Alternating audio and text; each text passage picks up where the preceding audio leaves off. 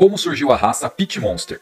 A raça Pit Monster teve quatro principais linhagens para o seu desenvolvimento: as linhagens Thompson, Camelot, Red Lion e Chevy. Essas quatro linhagens foram as pioneiras na formação do Pit Monster que conhecemos hoje. As linhagens Thompson e Camelot surgiram a partir de linhagens de pitbulls tradicionais extremados, por selecionamento focado em tamanho. Já o conceito Red Lion veio a partir do movimento Bully Style, que surgiu lá dos Estados Unidos a partir dos Bullies, onde selecionavam cães mais baixos, porém robustos e musculosos, muito pesados e com cabeça grande. Já a linhagem Chevy surgiu a partir de selecionamentos focado em tração, um esporte muito comum lá nos Estados Unidos, onde misturaram pitbulls com cães molossos, como por exemplo o dog de Bordeaux e o bulldog americano, onde se deu origem a cães bem altos e pesados, porém bem proporcionais e atléticos para o seu tamanho. Mas hoje em dia essas linhagens já se misturaram muito aqui no Brasil, pois cada um tinha uma característica que podia se melhorar na outra. Por isso, atualmente é meio difícil você achar aqui no Brasil cães que sejam apenas de uma linhagem dessa, porém não é impossível. Os primeiros Pit Monster, ou melhor, os primeiros Pitbulls extremados começaram a surgir aqui no Brasil nos anos 90. Aí por conta dessa seleção focada em cães maiores, os criadores de Pitbull tradicional começaram a se incomodar com aqueles cães fora do padrão tradicional sendo chamados de Pitbull. Com isso, os criadores desses cães extremados começaram a correr atrás para começar a registrar esses cães como raça independente. Um tempo mais tarde, algumas entidades começaram a registrar esses cães como Brazilian Pit Monster, por ter sido uma seleção feita aqui no Brasil. E ainda um pouco tempo mais tarde, foram surgindo surgindo outras entidades que também começaram a registrar essa raça para não ficar para trás. Porém, elas começaram a registrar apenas como Pit Monster, sem o Brazilian, e essa é uma discussão que se estende até hoje. Muitos acabam defendendo que o nome definitivo da raça seja Brazilian Pit Monster, e outros defendem que seja só Pit Monster. Mas, tanto um como o outro se tratam da mesma raça, dependendo apenas da onde o seu pedigree foi emitido, podendo vir escrito ou Brazilian Pit Monster ou apenas Pit Monster. Apesar do Pit Monster hoje em dia já ser reconhecido como raça independente por várias entidades de registro, porém Porém, o Pit Monster ainda é um conceito de raça, não tendo ainda padrões definitivos determinados de tamanho e peso, tendo apenas um mínimo, que para o macho é no mínimo 45 kg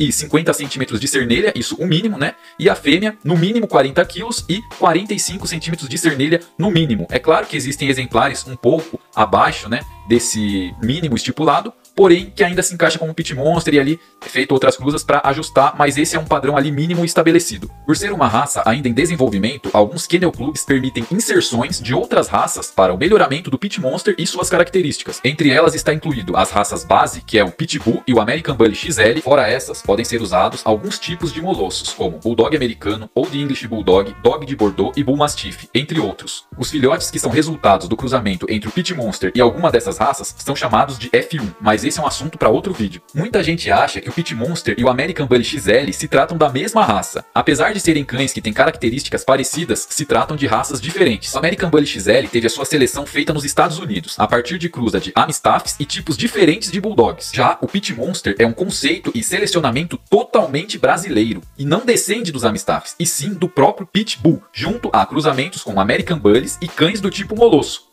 Tanto que antes do Pit Monster existir, não existia esse termo Pit Monster fora do Brasil, pois foi um nome dado à nova raça criada aqui mesmo no Brasil. Hoje em dia já existe em outros países, pois muitos exemplares de Pit Monster já foram exportados daqui do Brasil. Então, o Pit Monster pode ter sangue de American Bully XL, dependendo da sua seleção e da linhagem que ele tenha. Porém, não são a mesma raça. O American Bully foi uma raça já definida, usada como base para o desenvolvimento e melhoramento do Pit Monster. São raças parecidas, porém diferentes. Agora vamos falar sobre o temperamento do Pit Monster. Muita gente vê ele com aquela cara de mal, aquela cara de pitbull, só que ainda maior, e acham que são cães agressivos e perigosos. Só que nisso, essas pessoas estão totalmente equivocadas. Pit Monster é uma raça selecionada principalmente para companhia. Isso quer dizer que ele tem que ser 100% sociável, tanto com pessoas quanto com outros animais. E isso é exatamente o que essa raça é. São cães totalmente sociáveis e muito fácil de fazer amizade com outros outras pessoas e com outros animais. Claro que existem aqueles exemplares que têm o sangue um pouco mais quente, principalmente aqueles que têm sangue que vem de linhagens de pitbull tradicional.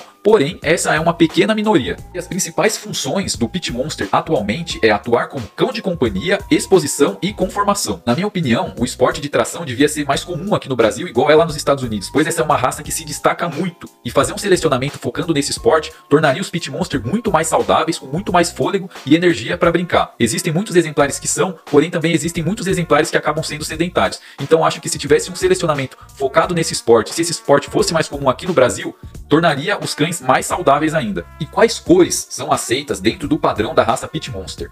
São aceitas todas as cores e combinações de cores, desde a cor mais simples até a cor mais exótica, desde qualquer cor sólida até merles e trimerles. Quanto mais exótica for a cor do exemplar, mais valorizado ele é. Em relação à cor dos olhos, também todas as cores são aceitas, desde o preto até o azul. Agora vamos falar em relação aos valores. Por conta do Pit Monster ser uma raça nova no mercado em relação a outras, além de ser uma raça que chama muito a atenção de quem vê por conta do seu tamanho e sua estrutura peculiar, e o principal, por ser uma raça de fácil manejamento, adaptação e socialização. Isso faz com que seja muito procurada e desejada, fazendo assim a raça ser muito valorizada. Os valores podem variar de 2 a 20 mil reais, ou até mais, dependendo da linhagem e do sangue do exemplar. Mas, infelizmente, hoje em dia no meio dessa raça, as pessoas têm vendido muito gato por lebre, e os leigos acabam comprando e se arrependendo depois. E por por que isso acontece? Muita gente vende filhotes a 800, 500 e até 200 reais alegando ser pit monster. E pessoas que não conhecem a fundo a raça ou valores da raça acabam comprando achando que estarão economizando ou pagando barato em um cachorro que vai ficar assim.